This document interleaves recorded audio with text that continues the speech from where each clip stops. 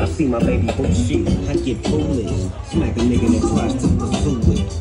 Homeboy, she taking, just move it. I extra nicely, don't make the dog lose it. We just control and keep the flow moving. In a six-foot leading baby who owns it.